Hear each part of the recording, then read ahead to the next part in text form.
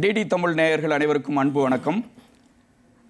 பல்வேறு துறை வல்லுநர்களை நாம் தொடர்ந்து சந்தித்து வருகிறோம். அந்த வகையில் இன்றைய தினம் நம்மிடையே நம் விருந்தினர் நிகழ்ச்சிக்கு வருகை தந்திருப்பவர் நாட்டுப்புற பாடகர் தெம்மாங்கு பாவலர் கிராமிய இசையிலே கொடிகட்டி பறக்கக்கூடியவர் திரை இசை பாடகர் எல்லாவற்றிற்கும் மேலாக ஆசிரியர் என்ற அடையாளத்தோடு தமிழ் கூறும் நல்லுலகிலே வலம் வரக்கூடிய கரிசல் கருணாநிதி அவர்கள் வருகை தந்திருக்கிறார்கள். வணக்கம் ஐயா. வணக்கம். உங்களை சந்திக்கிறதுல ரொம்ப மகிழ்ச்சி. மகிழ்ச்சி. அதாவது இப்போ நாட்டுப்புற பாடல் அப்படிங்கிறது வந்து நாட்டார் பாடல்னு சொல்கிறோம். அந்த வகையில் தெம்மாங்கு பாடல் இந்த அளவுக்கு நீங்கள் மிகச்சிறப்பாக பாடிக்கிட்டு இருக்கீங்க. முதல்ல உங்கள் வாழ்க்கை வரலாறை பற்றி கொஞ்சம் சுருக்கமாக சொல்லுங்களேன்.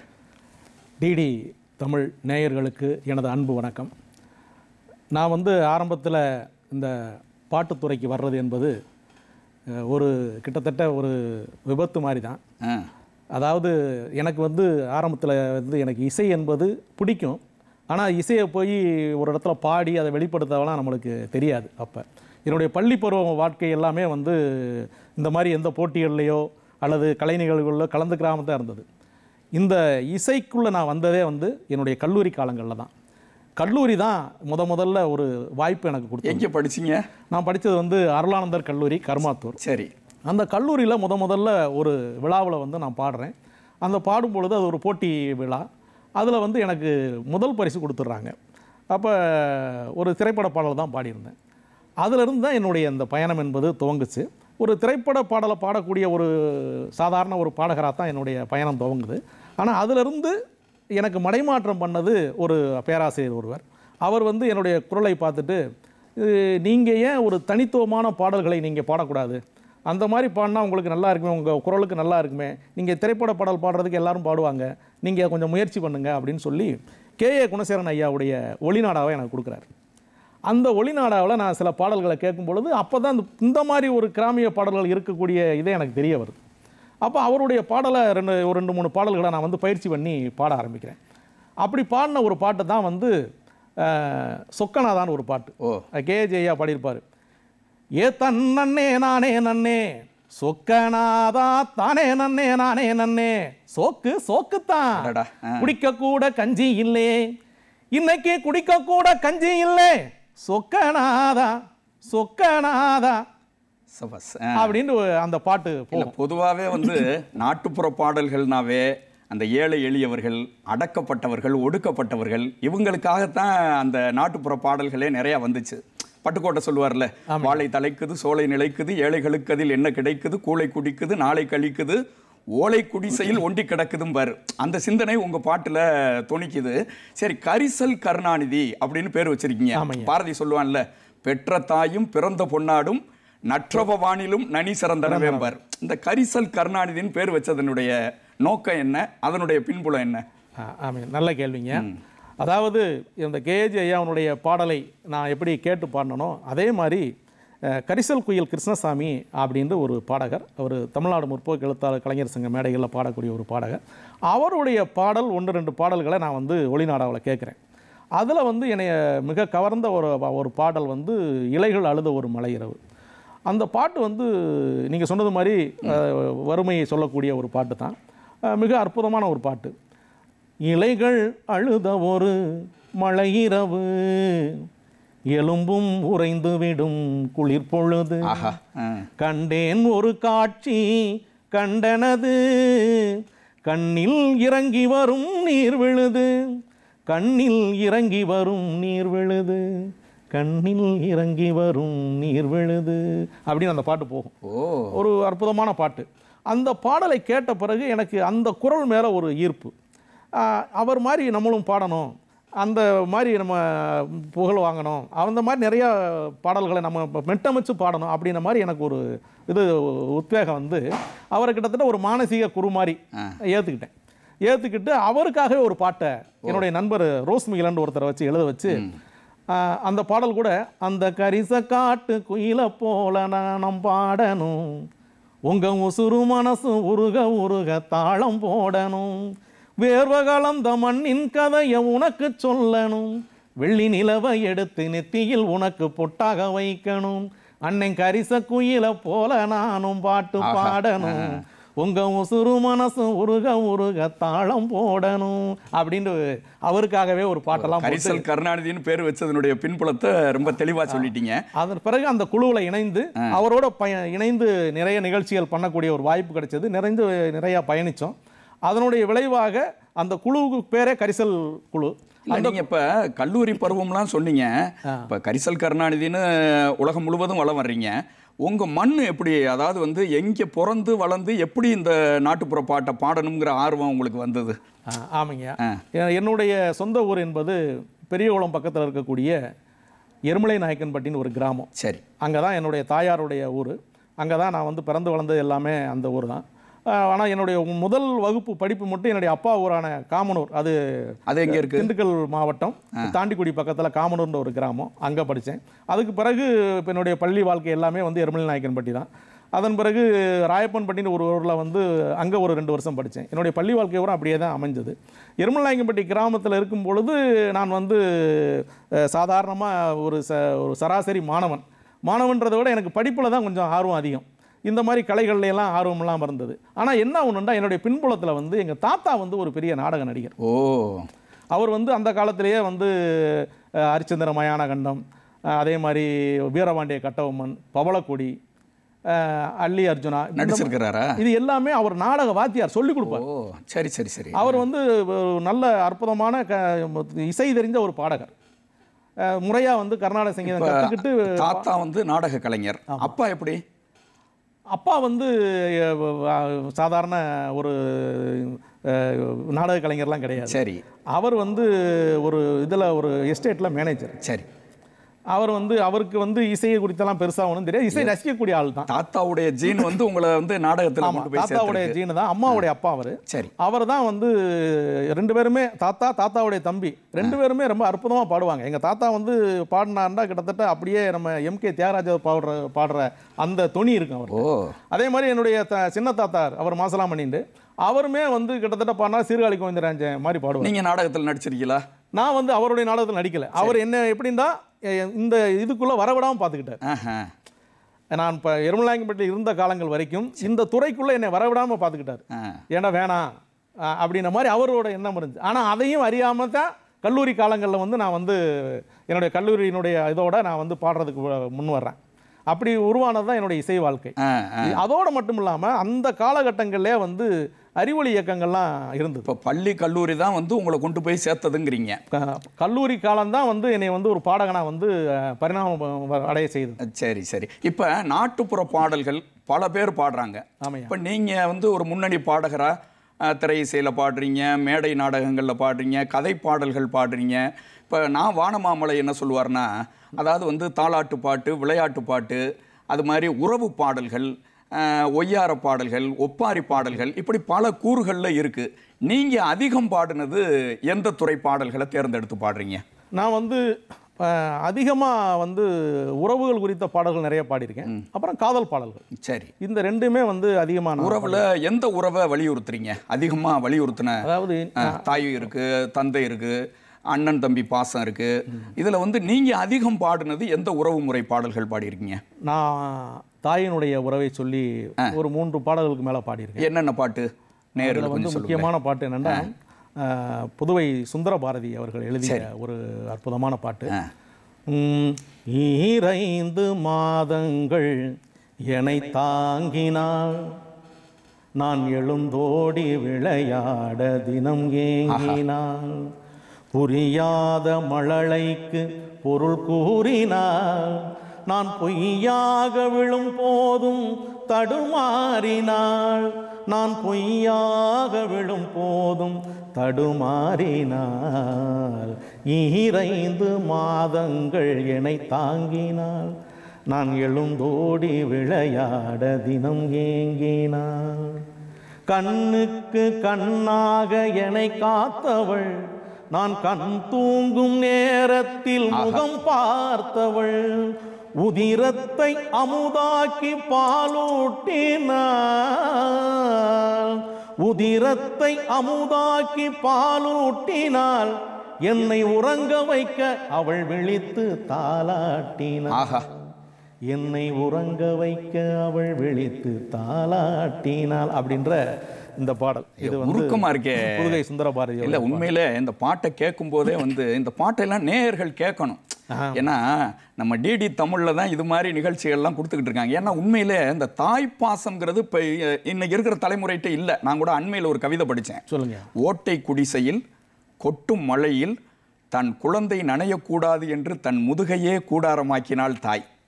ஓட்டை குடிசையில் கொட்டும் மழையில் தன் குழந்தை நனையக்கூடாது என்று தன் முதுகையே கூடாரமாக்கினாள் தாய். ஆனாலும் குழந்தை நனைந்தது தாயின் கண்ணீரால் என்று எழுதினான். இப்போ அது மாதிரி வந்து இந்த தாய் பாசம்ங்கிறது வந்து இன்றைய இளைய தலைமுறைகிட்ட ரொம்ப குறைஞ்சு போச்சு. அம்மாவுக்கு வேற என்ன பாடல்லாம் நீங்க பாடியிருக்கீங்க? இது மட்டும் இல்லாம கவிஞர் ஏகாதேசி அவர்கள் எழுதின ஒரு பாட்டு. அதுவும் அம்மா பத்தி தான். அது சினிமாவில் வந்ததா இல்ல அது சினிமா ஆல்பம் தான். ஆல்பத்தில் தான் வந்திருக்கு. என்னுடைய ஆல்பத்தில் தான் வந்திருக்கு. அம்மாவை போலொரு அழகி கிடைப்பாளா? தன் இருகரத்தாலே அழுகை துடைப்பாளா? மண்ணின் சொர்க்கம் அவள் மடி அவள் சாமிக்கும் மேலே ஒருபடி. மண்ணின் சொர்க்கம் அவள் மடி அவள் சாமிக்கும் மேலே ஒருபடி. அம்மாவை போலொரு அழகி கிடைப்பாளா? தன் இருகரத்தாலே அழுகை துடைப்பாளா? சோபத்தில நீகிருக்க வார்ப்பாலே சித்திரமா? விளையாண்ட தடங்களை வச்சிருப்பா பத்திரமா? வருவா பிள்ளைன்னு வாசலில காத்து நிப்பா தட்டெல்லாம் சோறு போட்டு தவயுத்த பட்டினி வப்பா? வருவா பிள்ளைன்னு வாசலில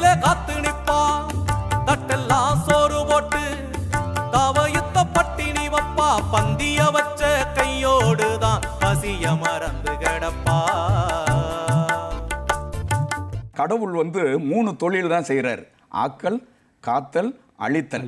ஆனால் தாய் என்பவள் ஆக்கலை செய்வாள் காத்தலை செய்வாள் ஒருபோதும் அழித்தல் தொழிலே செய்யாத ஒரே ஜீவன் தாயின்னு முடிச்சிருப்பார். அது மாதிரி கடவுளை காட்டிலும் மேலான ஒரு படின்னு சொன்ன ஏகாதசி கவிஞருக்கும் இந்த நேரத்தில் நான் ரொம்ப பாராட்டு தெரிவிச்சுக்கிறேன் ரொம்ப அற்புதம்.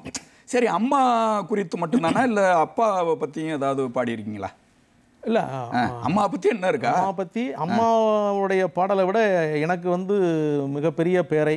இல்ல இன்னொரு பாட்டு உங்களுக்கு ரொம்ப அடையாளம். நீங்க என்ன சொல்லாம இருக்கீங்களே?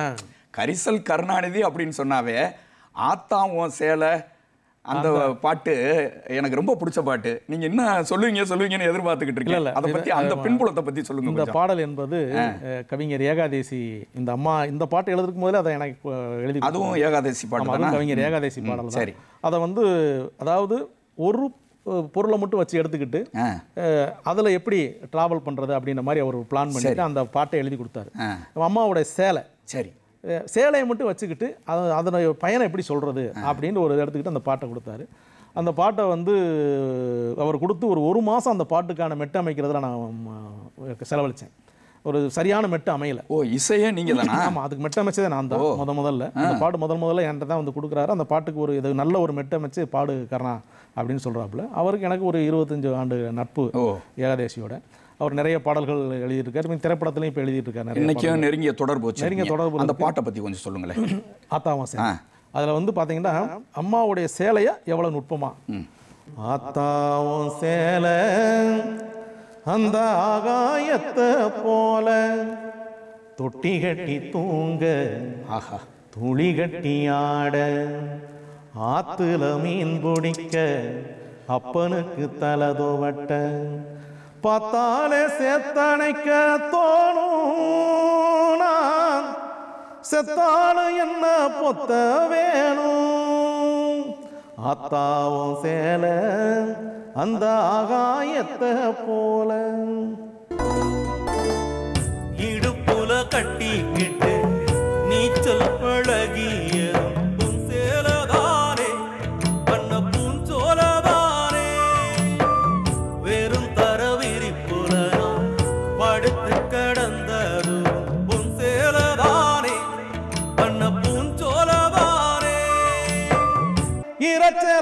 இரைச்சல போது வானவில்லா தெரியும்.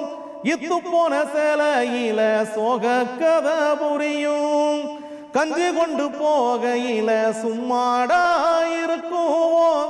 சேல கட்டி அரைச்ச தண்ணி சக்கரையாய் நிற்குவோம் சேலை கட்டி அரைச்ச தண்ணி சக்கரையாய் நிற்கும் ஆத்தாவோம் அந்த ஆகாயத்தை போல ஆத்தாவோம் சேலை. கரிசல் சார் இந்த பாட்டை கேட்கும்போதே என் கண்ணே கலங்குது. மேடைகளில் நீங்கள் பாடும்போது அதை கேட்குறவங்க பார்க்குறவங்களுடைய மனநிலையை நீங்கள் எப்போவாவது உணர்ந்திருக்கீங்களா? எப்படி அதனுடைய வெளிப்பாடு எப்படிலாம் இருக்கும்? இல்லை இந்த பாடல் என்பது எந்த மேடைகளில் போனாலும் நீங்கள் வந்து ஆத்தாவன் சேலை பாடுங்க அப்படின்னு கேட்கக்கூடிய ஒரு சூழல் தான் எல்லா காலமும் இருந்திருக்கு. ரெண்டாவது இந்த பாடல் பாடும் பொழுது நிறைய ஆட்கள் வந்து உணர்ச்சி வசப்பட்டு அழுகிறதெல்லாம் நான் நேரடியாக பார்த்துருக்கேன். அது கண்கூட நம்ம முன்னாலே நடக்கும். ரெண்டாவது நம்மளே சில நேரங்களில் அந்த உணர்வை பார்த்துட்டோம்னா நம்மளுக்கே சில நேரங்களில் யாருக்குமே வந்து தாயை பற்றி பாடிட்டோம்னாவே அந்த அந்த தாய் பாசம்ங்கிற உணர்வு வந்துருச்சுனாவே நம்மளால் அதை நிலை கொள்ள முடியாது கட்டுக்கடங்க முடியாது. சரி அப்போ உங்களுக்கு உங்களை கவர்ந்த மேடை அனுபவங்கள் பல ஊர்களுக்கு போகிறீங்க ஏன்னா கிராமிய மேடைகள் தான் உங்களுக்கு வந்து அதிகமாக கிடைக்குது. மேடை அனுபவங்களை பற்றி கொஞ்சம் சொல்லுங்களேன். எனக்கு வந்து எத்தனை மேடை நீங்கள் இதுவரை பார்த்துருப்பீங்க? எனக்கு ஒரு ஒரு ஐயாயிரம் மேடைகளுக்கு மேலே நான் வந்து பயணம் பண்ணியிருக்கேன். என்னுடைய கிட்டத்தட்ட ஒரு இருபத்தஞ்சு வருஷத்துக்கு மேலாகவே இந்த இசைத்துறையில் இருக்கேன். அது இந்த நாட்டுப்புற இசையில் பயண பயணிச்சுக்கிட்டு இருக்கேன். ஒரு ஐயாயிரம் மேடைகளை உறுதியாக நான் தாண்டி இருக்கணும்னு சொல்ல முடியும் உறுதியாக அதுக்கும் கணக்கு இல்லை நம்ம யாரும் கணக்கு வச்சுட்டு இது பண்ண போகிறதில்ல சரி. நிறைய மேடைகள். அதில் அதிகமாக நான் பயணித்த மேடைகள் என்பது கலை இலக்கிய இரவு மேடைகள் அதிகமாக நான் பாடியிருக்கேன். அந்த மேடைகளில் தான் இந்த மாதிரி பாடல்களை வந்து அதிகமாக ரசித்து கேட்பாங்க. இன்னைக்கு வந்து சாதாரண கிராமத்து கச்சேரிகள்லையும் திருவிழா கச்சேரிகள்லையும் அல்லது ஒரு அரங்க நிகழ்வாக இருந்தாலும் சரி அல்லது ஒரு கல்லூரி விழாக்கள் எங்கே போனாலும் இந்த ஆத்தாவன் சேலை பாடல் வந்து கேட்காம இருக்கவே மாட்டாங்க. அது இப்போ எல்லாரும் அதை பாட ஆரம்பிச்சிருக்காங்க. அது நம்ம நம்ம ஒருத்தர் தான் பாடலாம் கிடையாது. அதை வந்து இன்னைக்கு அனைத்து கிராமிய பாடகர்களும் இல்ல, இன்னைக்கு பாடுறாங்க. நீங்க தான் முதல்ல பாடுனது. ஆனா இன்னைக்கு மேடை தோறும் மற்ற எல்லாருமே பாடுற அளவுக்கு வந்து அந்த பாட்டு வந்து ரொம்ப பிரசித்தி பெற்ற பாட்டா மாறிடுச்சு. சரி இப்போ அம்மாவை பத்தி பாடையில அப்பாவை பத்தி பாட்டு கேட்க மாட்டாங்களா? நீங்க வேற அது மாதிரி அப்பாவுக்கு ஏதாவது பாட்டு பாடி இருக்கீங்களா அந்த அனுபவத்தை பத்தி கொஞ்சம் உறவுகள்னு வரும்பொழுது அம்மாவுக்கு அடுத்து அப்பா தான். நீங்கள் அந்த அந்த அம்மா பாடல் வந்ததே வந்து அன்னைக்கு வந்து முதியோர் இல்லங்கள் அதிகமாக போயிட்டு இருக்க ஒரு சூழல்ல உறவுகளை வந்து நம்ம வந்து சரியாக வந்து கொண்டு போய் சேர்க்கணும். உறவுகள் குறித்த ஒரு மதிப்பீடு என்பது இன்றைய வரக்கூடிய தலைமுறைக்கு வரணும் அப்படின்றதுக்காண்டி அந்த மாதிரி பாடல்களை நாங்கள் பாட ஆரம்பித்தோம் அதே மாதிரி தான் இந்த அப்பா அப்பா வந்து கவிஞர் ஏகாதேஷ்ட வந்து நான் தான் விரும்பியே கேட்குறேன். எனக்கு வந்து நீ ஆத்தாவும் சேலன்னு ஒரு பாட்டு எழுதி கொடுத்த. எனக்கு அப்பாவை பற்றி ஒரு பாட்டு எனக்கு வேணும். அது ஒரு பாட்டு எழுதி கொடு அப்படின்னும் போது ஏகாதேசி நான் சிறிது காலம் எடுத்து எழுதி தரேன் அப்படின்னு தான் சொன்னார். சரி. ஒரு நாள் வந்து என்ன அந்த அந்த அப்பா பாட்டை கொடுக்குறாரு. அதை வாங்கிட்டு அதையுமே நானும் தான் மெட்டமைச்சேன். அது இன்னைக்கு வந்து அது எல்லா மேடைகள்லையும் தொலைக்காட்சிகள்லையும் எல்லாத்துலேயுமே அந்த பாடல் பாட்டு? அது வந்து அப்பாவினுடைய கையை பிடிச்சு நடந்தா திரு அழகா மாறும் ஒரு நாலு வரி பாடுங்களேன் நேயர்களுக்காக. அப்பா கைய பிடிச்சு நடந்தா திரு அழகாக மாறும். பாகைய பிடிச்சு நடந்தா இது அழகாக மாறும். அவர் ஆசைப்பட்டு கொஞ்சம் போது நீசமுடி கீரும்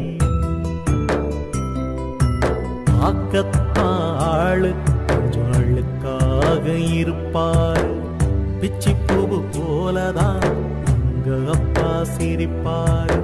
மேல் சட்டை போட்டதில்லை கால் செருப்பும் கேட்டதில்லை பாய் விரிச்சு படுத்ததில்லை பட்டகடனால் தூக்கம் வல்ல. உப்பு முட்டை தூக்கிக்கிட்டு ஊர் ஊரா நடப்பாரு. உறங்கினாலும் எழுப்பி விட்டு தின்பண்டம் தான் கொடுப்பாரு. தலைக்கு என்ன தேய்ச்சதில்ல கண்ணாடிய பார்த்ததில்ல. அவர் உழைச்சு உழைச்சு காய்ச்சதில்லை. உள்ளங்கையில் ரேகையில் அப்பா கைய பிடிச்சு நடந்தா தெரு அழகாக மாறும். அவர் ஆசைப்பட்டு கொஞ்சம் போது மீச முடிக்கி. இது வந்து ரொம்ப அருமை கரிசல் ஐயா. அதாவது உண்மையிலே அம்மாவுக்கும் அப்பாவுக்கும் பேலன்ஸ் பண்ணி ரெண்டு பேருக்குமே அற்புதமா பாட்டு எழுதியிருக்கேன். நான் கூட வாட்ஸ்அப்ல ஒரு அண்மையில் ஒரு கவிதை ஒன்று படித்தேன் அப்பாவை பத்தி. அதாவது நான் ஏன் கைகட்டி மற்றவர்களிடம் சேவகம் செய்கிறேன் தெரியுமா? ஒரு அப்பா சொல்ற மாதிரி. நான் ஏன் மற்றவர்களிடம் கைகட்டி சேவகம் செய்கிறேன் தெரியுமா? என் மகன் டை கட்டி படிக்க வேண்டுமே என்பதற்காக ஒருத்தன் வாட்ஸ்அப்ல பதிவு பண்ணியிருந்தாரு. உண்மையிலே நினைச்சு பாருங்க அஹ், தந்தைன்னு அதனால தானே சொல்றோம். இந்த உலகத்திற்கு நம்மை தந்த ஐயின்னு சொல்றாங்க. ஐயனா தலைவன். தலைவன். அப்ப உண்மையிலே தாய்க்கும் தந்தைக்கும் இவ்வளவு ஒரு அற்புதமான பாடல்கள் நீங்க மேடைதோறும் முழங்குறீங்க. ரொம்ப மகிழ்ச்சியா இருக்கு. அஹ், அடுத்து உறவு முறை பாடல்கள்ல வேற யாருக்கும் அதாவது அண்ணன் தம்பி உறவுகள் அது மாதிரி பாட்டி முதியோர்கள் அது மாதிரி ஏதாவது? இருக்குங்க இருக்கு அதாவது தாய் தந்தை மட்டும் இல்லை. அந்த அவங்களுக்கு தாய் தந்தை. ஆ, அதாவது வந்து தாத்தா. பாட்டி ரெண்டு பேருக்குமே நான் வந்து பாடல்களை வந்து பாடியிருக்கேன். அதை வந்து பாட்டியை பற்றி ஒரு பாட்டு. அதுவுமே கவிஞர் ஏகாதேசி தான் எழுதி கொடுத்தாரு.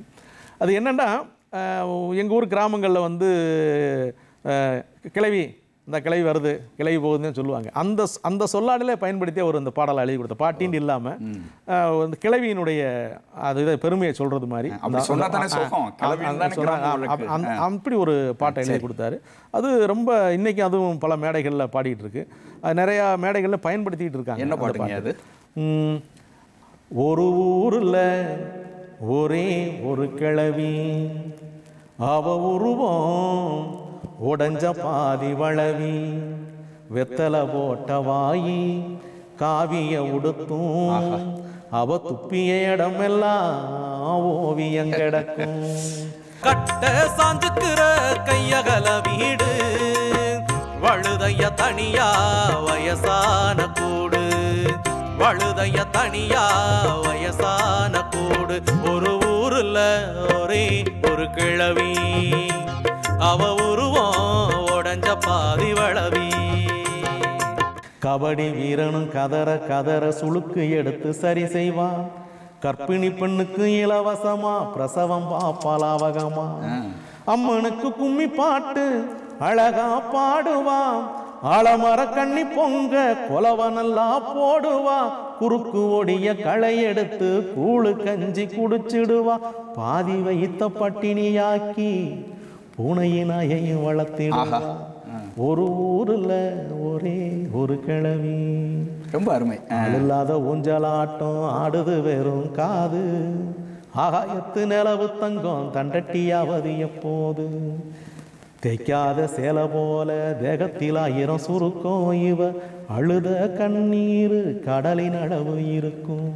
அருமைங்க அருமைங்க. பத்து பிள்ளை வளர்த்த ஏழை என்னையடா. கடைசியில் இவள் துணைக்கு தாவார திண்ணையடா உறவுகள் பாசங்கள் எல்லாம் பொய்யோ.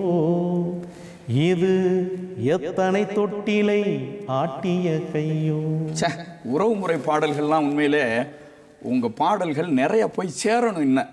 ஏன்னா தாய் தந்தை பாட்டிமார்கள் பாட்டி இல்லைன்னாவே இன்னைக்கு கதை கேட்கறதே இல்லாம போச்சே. நீ கதையே இல்லை கதை இல்லாம போச்சு. இன்னொன்று வந்து அம்மா அப்பா உறவை வந்து ரொம்ப அருவ வலியுறுத்தி சொல்லியிருக்கீங்க ரொம்ப மகிழ்ச்சி. தொடர்ந்து நாம் கிராமிய பாடகர் திரைப்பட பாடகர் கரிசல் கருணாநிதி அவர்களிடம் பேசி கொண்டிருக்கிறோம். இன்னும் நிறைய பேச வேண்டியிருக்கு. அடுத்த வாரமும் அவரை சந்திப்போம். நன்றி.